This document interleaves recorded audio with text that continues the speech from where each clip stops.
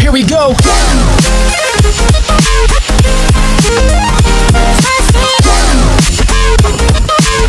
Hey, y'all, come look at this.